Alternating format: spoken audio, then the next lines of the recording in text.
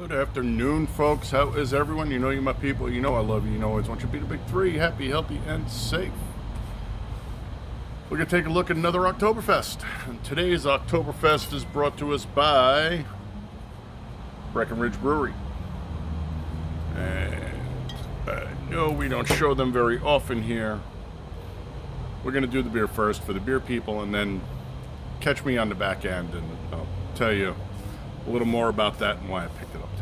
But before we do that, I have to go get a bottle opener. I'll be back in a second. Alrighty, that's better. So, you know we're going to do? Crack, pour, temp, SRM, couple of minutes of music to piss off screw tube. If you don't want to sit through all that, jump ahead two minutes. We're going to listen to uh, Frankie Yankovic. I have no idea whether or not he's related to Weird Al, but it wouldn't surprise me a whole hell of a lot.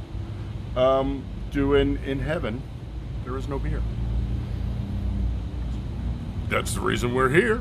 Here we go.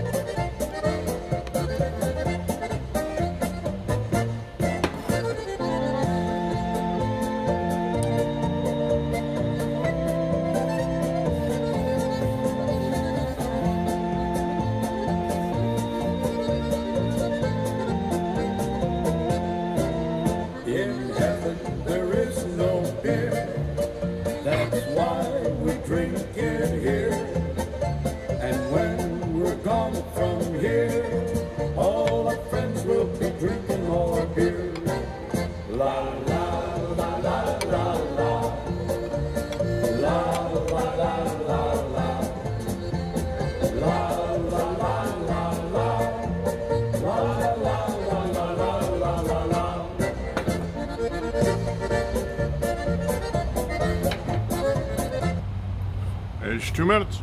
There are actually better versions of that song. I just pulled that one up on the fly when I went to go get the bottle opener. Yeah, well. I work today, so maybe tomorrow I'll actually prep a little harder. But I doubt it. So, Oktoberfest is an elegant German amber lager that's true to style and exceptionally smooth, bready, toasty aromas and flavors mingle with light malty sweetness. Soft mouthfeel and a touch of hops combine to offer a clean and dry finish. We are looking at 6 for the ABV, 20 for the IBUs. This availability is going to be seasonal, just for shits and giggles. Uh, but that would be because it's Oktoberfest, so go figure. All right, that's everything they gave us. They really didn't do a whole hell of a lot. So, it's Biden time. Let's get that sniffer up in there, see what's going on. Nice. Um,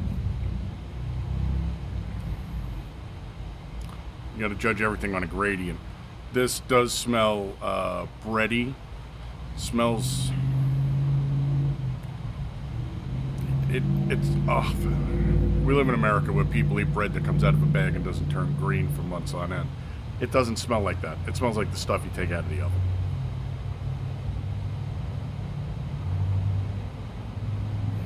Not particularly yeasty. It's got that nice, rich, bready smell, like a darker bread, not a black bread or a rye. Uh, it's kind of hard to nail down.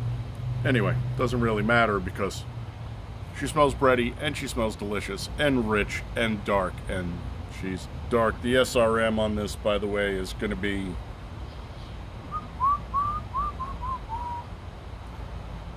she's well above 25. Let's say 27, 28.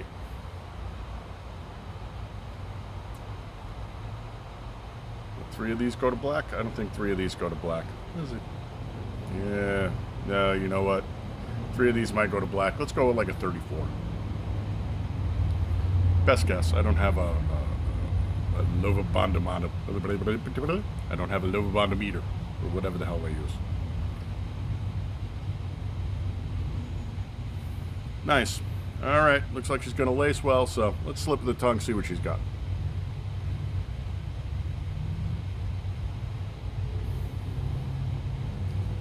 Nice. Nice progression, too. Comes in, she's real full. Whole top half, whole top half of the mouth just envelops in the uh, foamy goodness. Another dry Marzen, which is always kind of nice. So, buccals, extra and intradentals, soft palate, tongue, back of the throat. Nothing in the lower half though. Kind of odd. But not bad. Um, To shut her down for about two minutes. Let her warm up just a bit more because we're a little below temp and I'll be right back. Alright, just dropped the temp in there. We're now up to about 49, so just outside the 44 to 48 window, but let's see how much she has opened up and changed. She's lacing okay for us, but we only pulled the one drop off of here, so let's see what she's really to tell us now. Prost.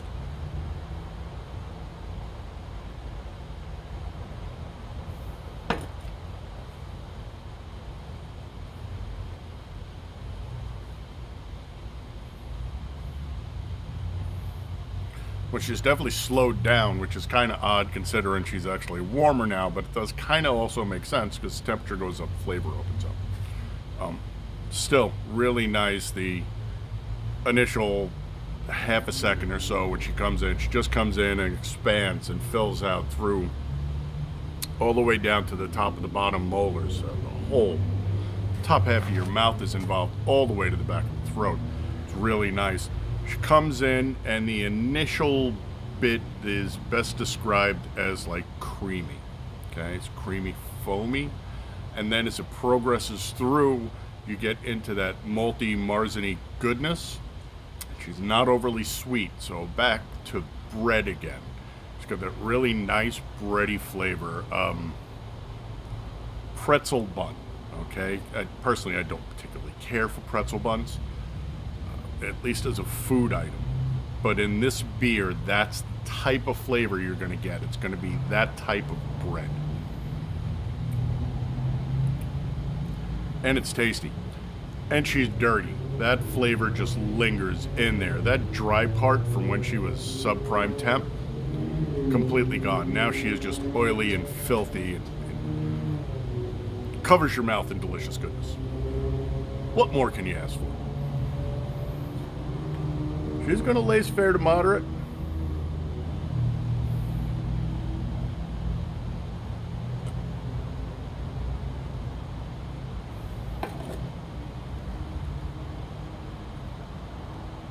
Yeah, no, delicious beer.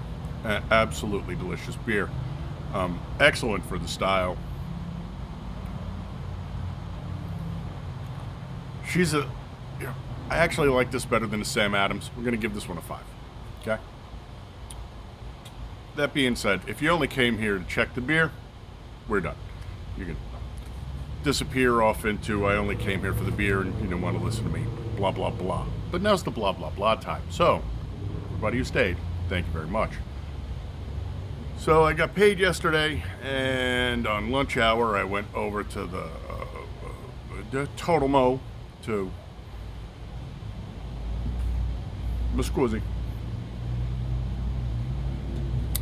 She's gassy, and you saw how much I poured that to get that head to come up. I guess heads don't really come up very well on Marzens. I don't know. She laces well. You would think the protein would be in there to. I'm just beer and gear. I'm not Mr. Super Beer guy. I'm just a guy who drinks way too much damn beer. If such a thing is possible.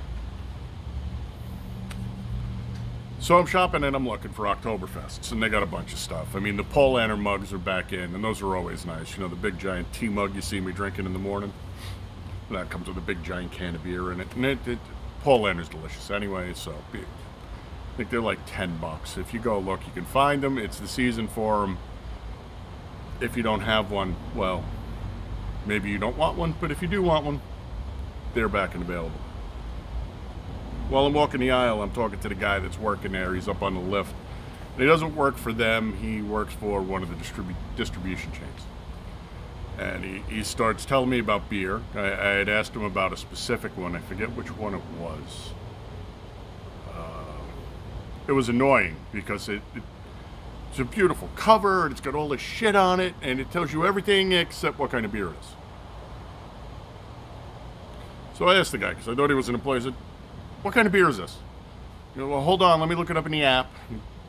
It's the barcode and looks it up in his app, and it was an American Amber. I was like, "Think they could have put that on there somewhere?" He goes, "Oh, it, it's on there, but it's on. You got to look on the bottom." Too much work. Dude, just put it right beneath the name of the beer. What kind of beer it is. So much easier. But we were bullshit. And uh, that brought me around to uh, Oktoberfest, and he goes, "Oh, Breckenridge has got a nice one." And so we started talking beer. Because he's a beer guy. We talk beer. So here's the thing with Breckenridge: we stopped drinking these years ago when we found out that they were bought out by AB InBev. Now, there's chatter going around in the community that because of the whole Bud Light fiasco, they're cutting 22, I think it's 21 or 22 micro brands off. They're getting rid of them, they're shedding them. Now, I don't own the beer companies, and if they offered me an absolute shitload of money to take my beer and my recipes, I would say, they're yours. I'll be on my boat, and if you want to reach me, good fucking luck. Here's the thing, though. So before everything happened with Dylan Mulvaney and AB InBev, which at this point is starting to look more and more like it was planned, by the way, there was an article up in VinePair. So VinePair is a periodical. It's an online magazine, basically. Um, beer, wine, spirits. I know you're like, dude, really? Yes, I, I read shit like that because I do research for you fuckers. You're my people. You know I love you. Um, but it, it, came out that AB InBev was actually looking to shed these, and this article must have come up three or four months before the whole Dylan Mulvaney thing, that they were going to shed this. Goose Island was another one. There were a couple of really, really prominent names in there that they were getting rid of. Unfortunately, they're not getting rid of Santan, which is local to me. Santan? No, Four Peaks. We like Santan. Four Peaks is race car piss water. Um, race car beer just means anything that's advertised on the side of like a NASCAR, a race car. Don't drink race car beer. Um, the only reason I say they're piss water is because when you're flies, is when you're owned by one of these giant multinational global homo, which means global homogenous. It has nothing to do with homosexuality. It's global homogeneity. One world kind of crap. Um, well, they change things because they're already importing all their important stuff, their malts and their barleys and their hops in mega amounts because when you buy in volume, you cut price. The only problem is they're going to change it up and they're going to look to change the quality. Okay? So, you know, one of my things, if you've been here long enough, is glyphosate is horrible for you. It fucks your connective tissue up. And this is the reason we wind up with so many crippled people these days, is because all that connective tissue, all your ligaments and tendons start to shrink like wet leather in the sun because the glycerol in the glyphosate replaces the glycerin in your tissue. Think I got that right? I could be wrong. You could double check if you really give a shit. Just understand that they're replacing the natural stuff with synthetic stuff that your body doesn't want and it doesn't function as well. That being said, everybody is still thinking that they're shedding all these micro brands, but they're not. The problem is the market got so saturated with micro microbrews that it, the bottom fell out of it. It's not profitable for them to run anymore. So much like all the dare beers, you saw all these twatnot kids are running around drinking. Oh, this was 190 IBUs. Why would you drink that? I, I told you one of the worst ones I ever drank was something called Big Eye. It was by uh, Ballast Point. Ballast Point does fish beers, right? All their beers are named after fish or something nautical. And they had Big Eye. Big Eye's a tuna. And I was out with uh, Angus and Rocket and Callie, and we were going fishing, so I'll grab a six pack of everything just to try it. You've met me. Absolutely brutal, though. Uh, and these guys were sucking down Sculpin, which I thought was delicious. And I'm like, Sculpin is nasty, just overly hopped and, and piney. Big Eye was worse. There was one brewery out of Idaho. I want to think it was like Sleepy Dog or something. I, I can't remember their name. It's been a few years. But they were at the Total Mode doing um, a tasting. Talking to them, it's beer. I mean, there are a few things I can converse with people in the business about. Beer is one of them.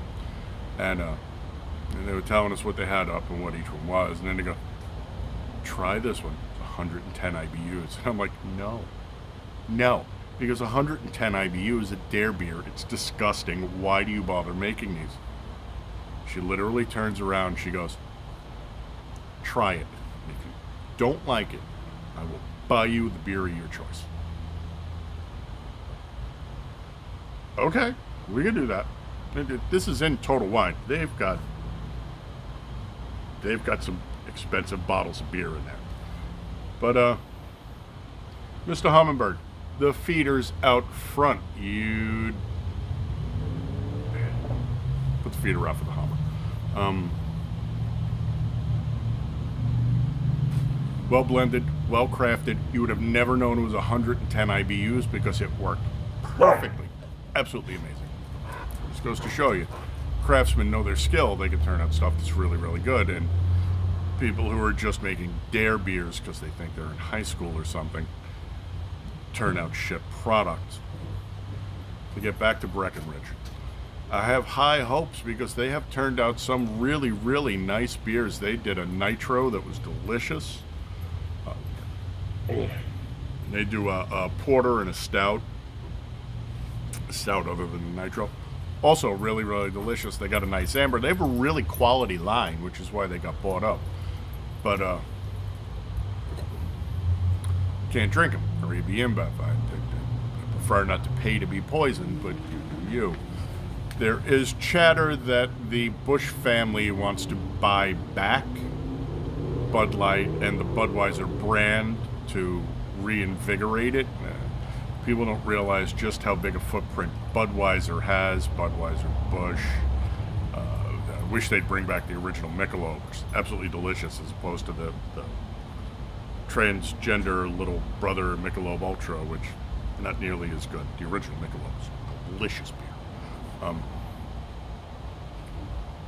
that being said, I have high hopes that as they shed these, uh, they're no longer microbrews, but as they shed these uh, ancillary companies, the people pick them up and return them to greatness. Goose Island was not a bad brewery. It wasn't one of my favorites, but Culto, who I haven't heard from in months. Well, I hope he's okay, but I'm getting the feeling probably not. Um, he tended to favor. So as they cut these ancillary companies out, I hope somebody picks them up and turns them back into what they once were, which was really interesting, thriving, and driving uh, companies. But we'll see. Anyway, I'd like Breckenridge to go back to not poisoning me because, again, they made some really, really good beers. And we're at 20 minutes, so uh, I'm just a gum flapping Blobbity blobbity, and we are out of here. Thank you, my friends, for coming and putting some eyeballs on here. You are my people, and I love you. Just want you to be the big. Healthy, happy, safe, honorable, dutiful, vigilant. Speaking of which, I haven't heard from PV in a while. PV, what's the matter? Your finger's broken. And, of course, Gray Man, head on a swivel. Not handy. We'll catch you tomorrow for tomorrow's beer, which I don't know what it is because uh, you haven't put it in the refrigerator yet. But I'll put it in the refrigerator. Do this again with another lovely, I'm assuming, Marzen, since that seems to be the flavor for this year's Oktoberfest. Prost!